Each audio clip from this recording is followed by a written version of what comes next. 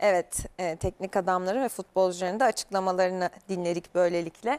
E, sen yorumlamaya başla istersen Mehmet. Ben izleyicilerimizin de fikirleriyle birlikte devam edeceğim. Ya Messi mi Ronaldo mu tartışması yıllarca yaptık ama hani benim için 3 numara. Yani tamam 1-2 Messi Ronaldo Xavi'dir. Yani orada çok işte İbrahimovic var. Son dönemde Mbappe'yi yakıştırılıyor ama yani Xavi bence... İzlerken de şey dedi ki hiç değişmemiş değil Evet, mi? yani futbolculuğu müthişti. Şuna da ben sevindim Melike. Şimdi Zidane de iyi hocalık yaptı. Zaten Şampiyonlar Ligi 3 veya 3 kere aldı diye bir Efsane kalmış oldukları aklımda. takımda değil Ee, mi? Xavi de başarılı olacak çünkü Barcelona bayağı bir e, kötüye gitti Luis Enrique sonrası. Yani Arda Turan'ın o transfer dönemleri 2016-2017 hep geri gitti zaten. Evet. Neymar ayrıldı. En son işte Messi'nin de ayrılması.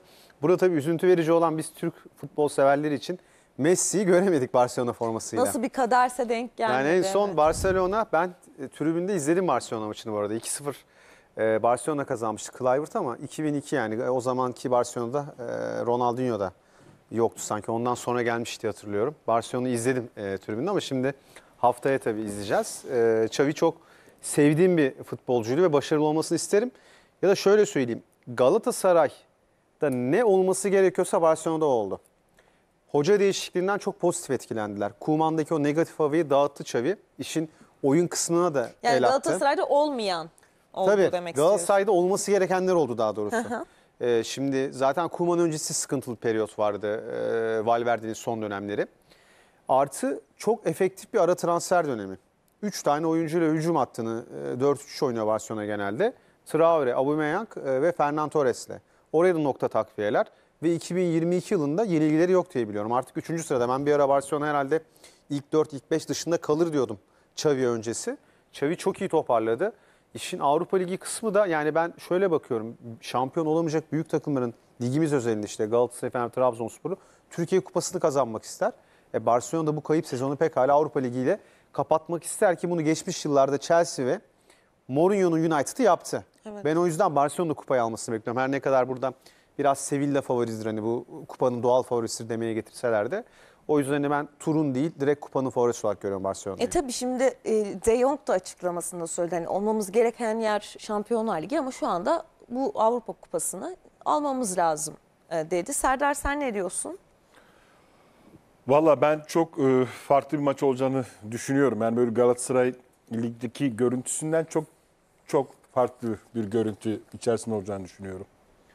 Yani Torrent heyecanlı, Penya heyecanlı ama e, kadrodaki diğer futbolcular da çok heyecanlı. Çok heyecanlılar. Galatasaray'da. Evet. Bu heyecan e, böyle tedirginlik anlamında söylemiyorum. Hani maç bir an önce başlasın da oynayalım. Bu tür maçlar bir kere Galatasaraylı futbolcuları baskı altında tutmaz. Çünkü favorisi belli. Yenildiği zaman kimse bir şey demez. Kötü oynadığı zaman kimse bir şey demez. O rahatlıkla oynayacağı için bence farklı bir maç olacak. Ee, bak çok basit bir örnek. Sen burada şahittin. Bunu hep söylüyoruz.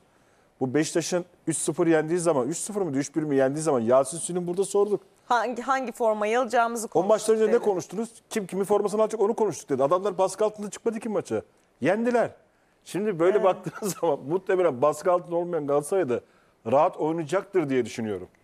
İnşallah. İnşallah. Ee, sadece doğruları söyleyen renk taşım Serdar Sarıdağ'la ben kimimlerin efendisi Mehmet Özcan'a selam demiş Cenk Bey. Güzel bir Teşekkür mesaj ediyoruz. göndermiş size. Yakup Demir de bir komik bir mesaj yazmış okumak istiyorum. Ee, Barcelona'daki Xavi 11'de oynar mı? Galatasaray'da Babel oynuyorsa Barcelona'da bu haliyle Xavi hayli hayli oynar. Dünya futbolunu değiştirmiş bir isim Xavi bakarsak. Yani Güzel bir yorum. Barcelona'da Guardiola yaptıkları inanılmazdı.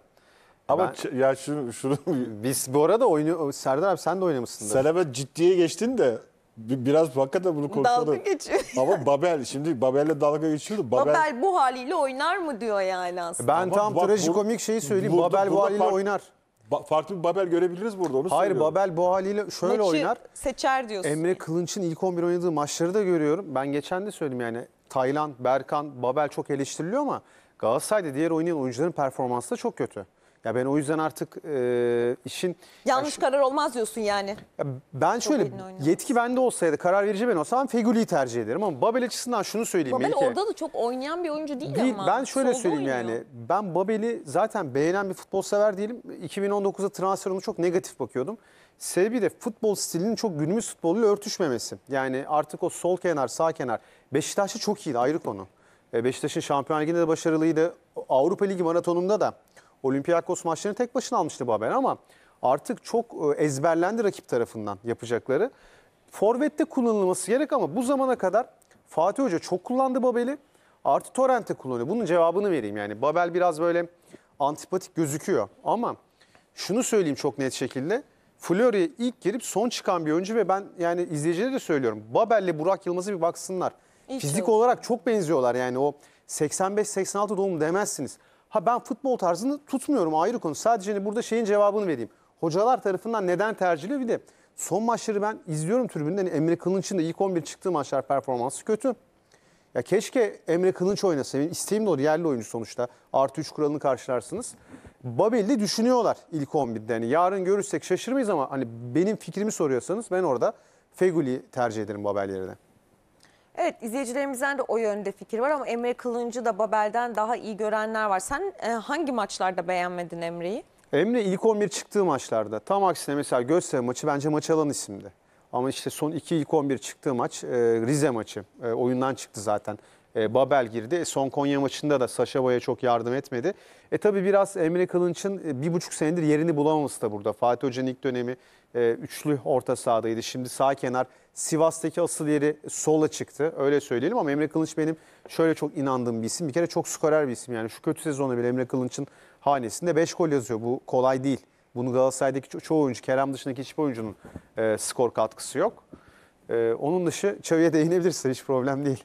Şimdi şöyle bir yorum gelmiş. Galatasaray'daki gençleşme konusu işte bu maçta lazım. Ben olsam genç oyuncuları sahaya sürerim. Hepsi kendisini göstermek isteyecektir.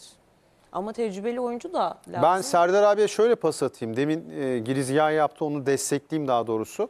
E, Konya maçı öncesi ben çok hani böyle iddialı konuşmam. Hatta yani eski mesai arkadaşımıza selam olsun Mustafa Göksu'ya. Maç öncesi onu ziyaret ettim. Evet. Bugün Konya Spor kazanacak dedim. Neden diyorsun dedi. Akıllar hiçbir şekilde burada değil dedim yani. E, Barcelona maçında. işte Neukamp atmosferin Arda'ya sormaktan başka ailelerinden, arkadaşlarından maça geliyorlar. Onlara bilet organizasyonu vesaire yani çok e, Konya'da değil akıllar. Onu biliyordum en azından. Zaten sahadaki ilk 20 dakikada bunu gördük.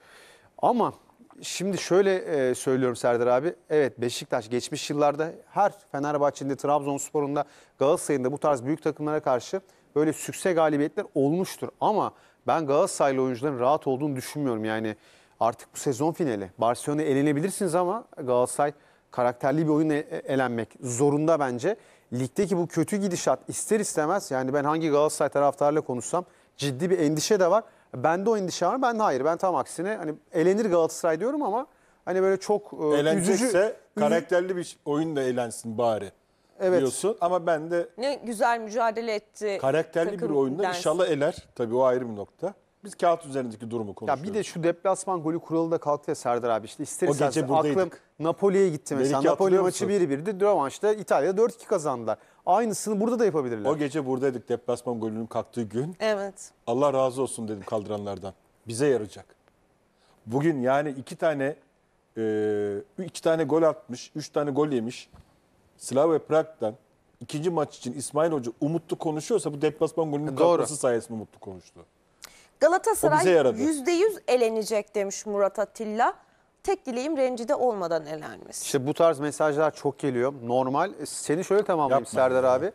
Favori olduğumuz maçlarda sana katılıyorum. Deplasman golünün kalkması avantaj. Slavia Prag gibi eşleşmelerde ama tam tersi. e, kafa takımlarla örnek verelim. İşte Beşiktaş Liverpool mesela işte uzatmaya götürdün. Penaltılarda o Balotelli Beşiktaş Necip'in mark ettiği Evet. maç.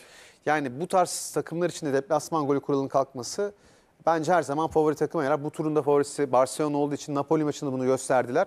Beraberlikle gidip İtalya'da gayet kazandılar. Olsun %80 bizim işimize geliyor deplasman golünün kalkması. Evet.